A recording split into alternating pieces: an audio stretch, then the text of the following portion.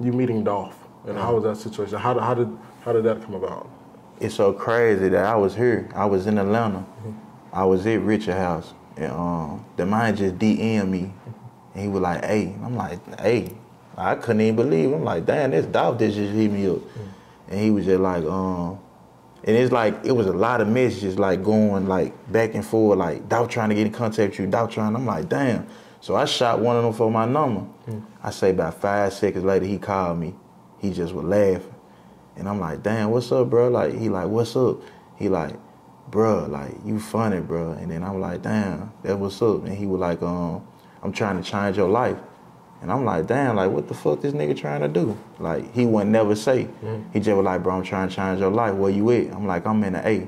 And he was like, damn. He just saying, damn. Hmm. And I was like, what's up? Like, cause I'm excited. I'm like, man, what's up? What's up?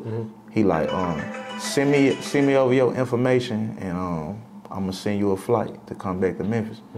Send me a first class flight that morning, and that's when we shot the major video. Oh wow, Yeah. that's crazy. That's crazy. Uh, so so what was that experience like? You know, first meeting him. Because, I ain't gonna lie, he a different type of person. When I first met him, like, he like, he don't really, he don't really talk a lot like this. Mm-hmm. Like when I first met him, it's like, he was just like the man had me sitting in a car for about two hours. He was at his auntie house mm-hmm. in the hood in Castade.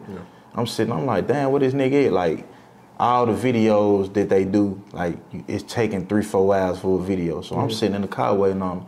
He finally come out and he like just tell me to jump in the car.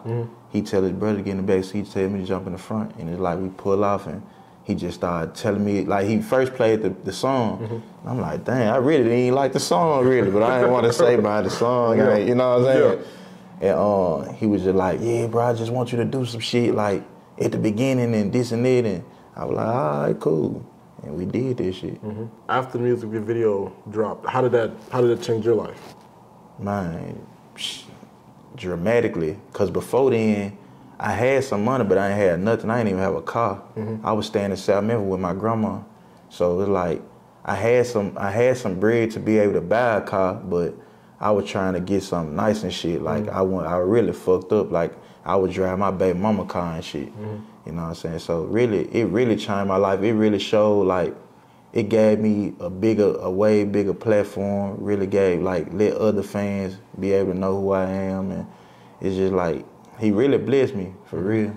It was like a, it just it's saying uh, unreal. It, it's, it don't even seem real sometimes. Mm-hmm. Like that he changed my life like that off a video. Yeah.